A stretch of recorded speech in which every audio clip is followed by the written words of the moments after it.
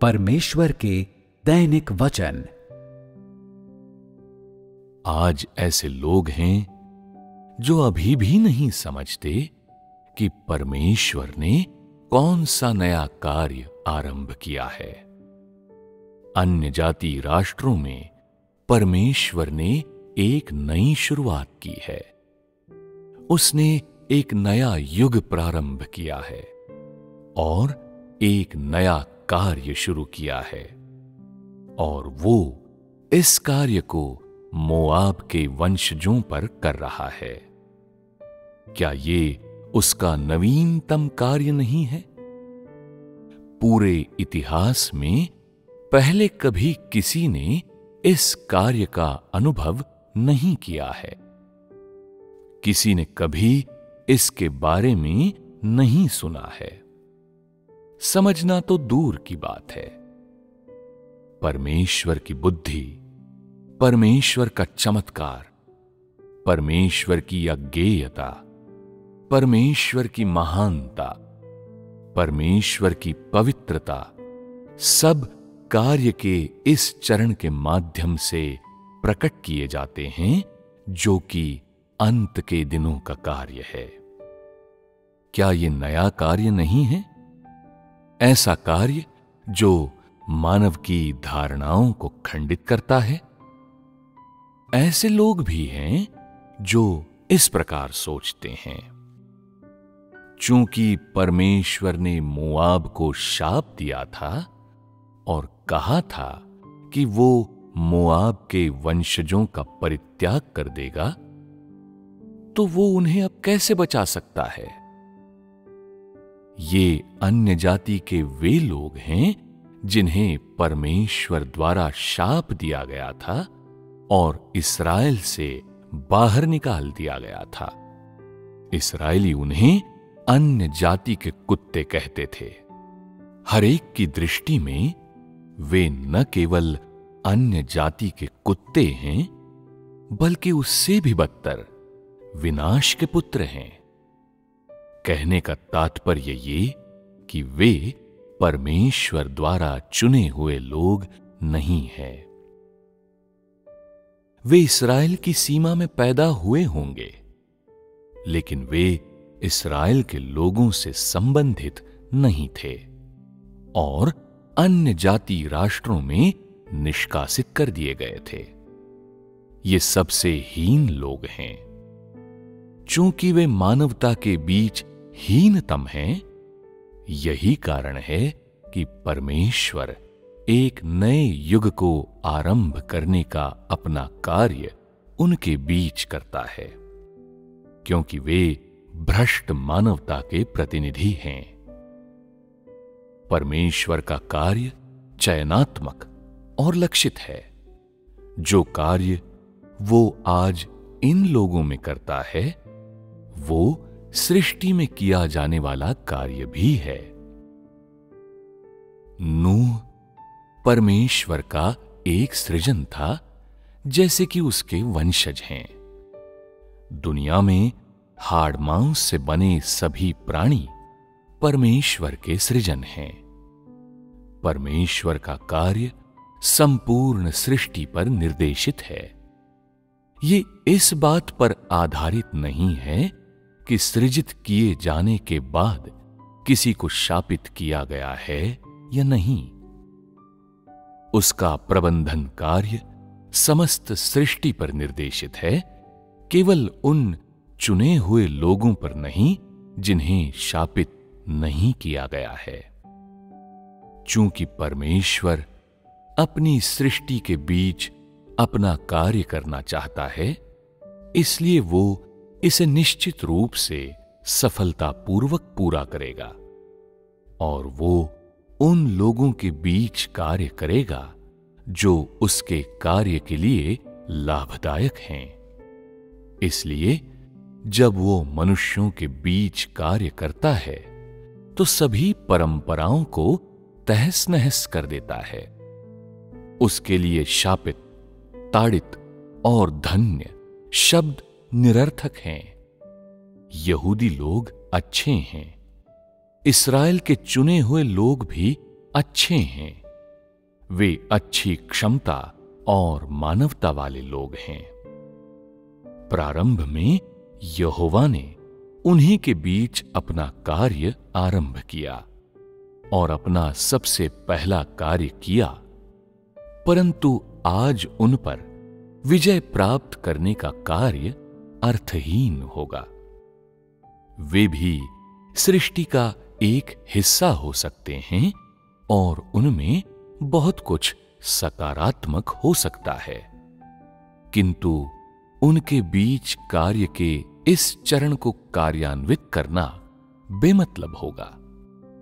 परमेश्वर लोगों को जीत पाने में सक्षम नहीं होगा, न ही वो सृष्टि के सारे लोगों को समझाने में सक्षम होगा, जो कि उसके द्वारा अपने कार्य को बड़े लाल अजगर के राष्ट्र के इन लोगों तक ले जाने का आशय है। यहाँ सबसे अधिक महत्वपूर्ण उसका युग आरंभ करना, उसका सभी नियमों और मानवीय धारणाओं को खंडित करना। और संपूर्ण अनुग्रह के युग के कार्य का समापन करना है। यदि उसका वर्तमान कार्य इसराइलियों के मध्य किया गया होता तो जब तक उसकी छह हज़ार वर्षीय प्रबंधन योजना समाप्त होने को आती, हर कोई ये विश्वास करने लगता कि परमेश्वर केवल इसराइलियों का परमेश्वर है। कि केवल इसराइली ही परमेश्वर के चुने हुए लोग हैं, कि केवल इसराइली ही परमेश्वर का आशीष और प्रतिज्ञा विरासत में पाने योग्य हैं।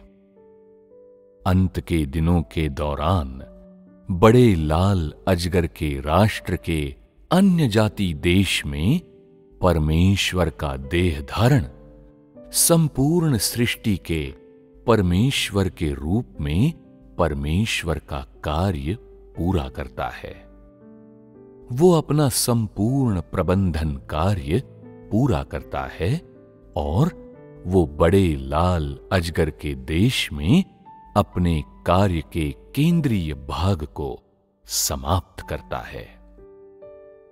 कार्य के इन तीनों चरणों के मूल में मनुष्य का उद्धार है। अर्थात, संपूर्ण सृष्टि से सृष्टिकर्ता की आराधना करवाना। इस प्रकार, कार्य के प्रत्येक चरण का बहुत बड़ा अर्थ है। परमेश्वर ऐसा कुछ नहीं करता जिसका कोई अर्थ या मूल्य न हो।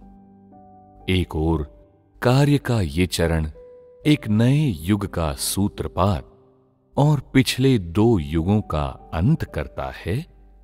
दूसरी ओर, ये मनुष्य की समस्त धारणाओं और उसके विश्वास और ज्ञान के सभी पुराने तरीकों को खंडित करता है।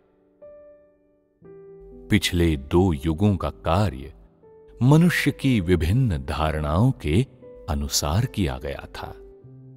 किंतु ये चरण मनुष्य की धारणाओं को पूरी तरह मिटा देता है और ऐसा करके वो मानव जाति को पूरी तरह से जीत लेता है। मोआब के वंशजों के बीच किए गए कार्य के माध्यम से उसके वंशजों को जीतकर परमेश्वर संपूर्ण ब्रह्मांड में सभी लोगों को जीत लेगा। ये उसके कार्य के इस चरण का गहनतम अर्थ है। और यही उसके कार्य के इस चरण का सबसे मूल्यवान पहलू है। भले ही तुम अब जानते हो कि तुम्हारी अपनी हैसियत निम्न है और तुम कम मूल्य के हो, फिर भी तुम ये महसूस करोगे कि तुम्हारी सबसे आनंददायक वस्तु से भेंट हो गई है। तुमने एक बहुत बड़ा आशीष विरासत में प्राप्त किया है। एक बड़ी प्रतिज्ञा प्राप्त की है। और तुम परमेश्वर के इस महान कार्य को पूरा करने में सहायता कर सकते हो। तुमने परमेश्वर का सच्चा चेहरा देखा है। तुम परमेश्वर के अंतर्निहित स्वभाव को जानते हो और तुम परमेश्वर की इच्छा पर चलते हो। परमेश्वर के कार्य के पिछले दो चरण इसराइल में संपन्न किए गए थे। यदि अंत के दिनों के दौरान उसके कार्य का ये चरण भी इसराइलियों के बीच किया जाता तो न केवल संपूर्ण सृष्टि मान लेती कि केवल इसराइली ही परमेश्वर के चुने हुए लोग हैं, बल्कि परमेश्वर की संपूर्ण प्रबंधन योजना भी अपना वांछित परिणाम प्राप्त न कर पाती। जिस समय इसराइल में उसके कार्य के दो चरण पूरे किए गए थे, उस दौरान अन्य जाति राष्ट्रों के बीच न तो कोई नया कार्य, न ही नया युग प्रारंभ करने का कोई कार्य किया गया था। कार्य का आज का चरण एक नए युग के सूत्रपात का कार्य। पहले अन्य जाति राष्ट्रों में किया जा रहा है और इतना ही नहीं, प्रारंभ में मोआब के वंशजों के बीच किया जा रहा है।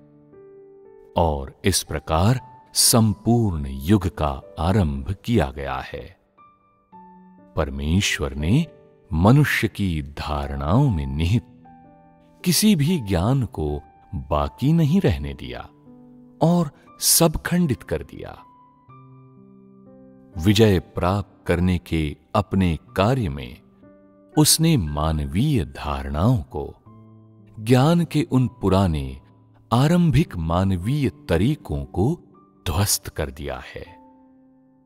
वो लोगों को देखने देता है कि परमेश्वर पर कोई नियम लागू नहीं होते, कि परमेश्वर के मामले में कुछ भी पुराना नहीं है, कि वो जो कार्य करता है वो पूरी तरह से स्वतंत्र है। पूरी तरह से मुक्त है। और कि वो अपने समस्त कार्य में सही है। वो सृष्टि के बीच जो भी कार्य करता है, उसके प्रति तुम्हें पूरी तरह से समर्पित होना चाहिए।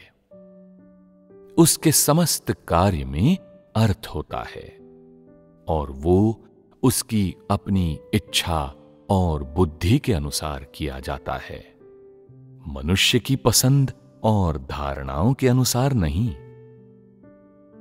अगर कोई चीज़ उसके कार्य के लिए लाभदायक होती है तो वो उसे करता है।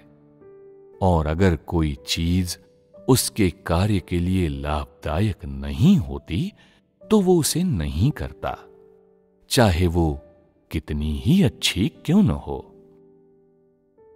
वो कार्य करता है और अपने कार्य के अर्थ और प्रयोजन के अनुसार अपने कार्य के प्राप्तकर्ताओं और स्थान का चयन करता है।